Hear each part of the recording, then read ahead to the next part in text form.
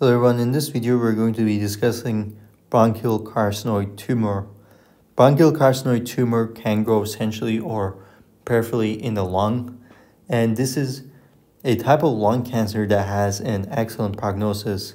The reason for this is because metastasis is going to be rare.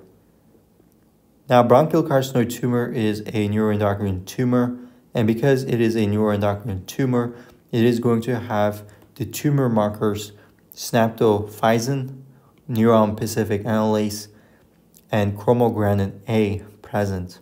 It can also have the tumor marker CD56 present, and this can help us differentiate from other neuroendocrine tumors, such as small cell carcinoma, as well as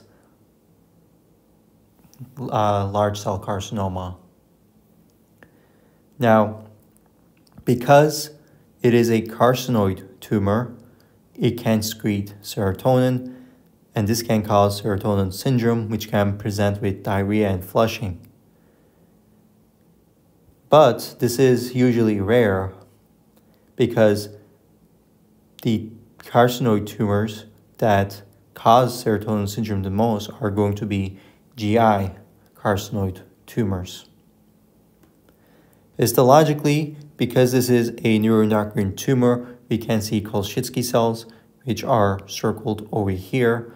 As you can see, these cells are undifferentiated and they're going to be on top of each other and they don't have any borders or any visible borders to separate one from another.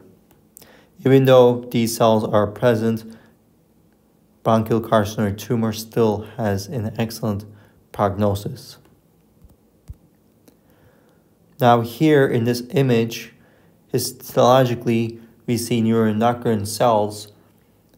And the reason for this is because bronchial carcinoid syndrome is a neuroendocrine tumor. As a result, histologically, this is what we will see.